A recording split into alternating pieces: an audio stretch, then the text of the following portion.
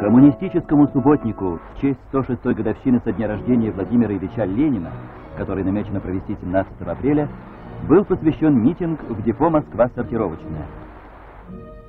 Здесь весной 1919 года родился великий почин. Машинист электровоза Звонов, токарь Шалаев, заместитель секретаря комитета комсомола Калимова и другие ораторы заявили, что ленинский субботник – станет ярким праздником коммунистического отношения к труду.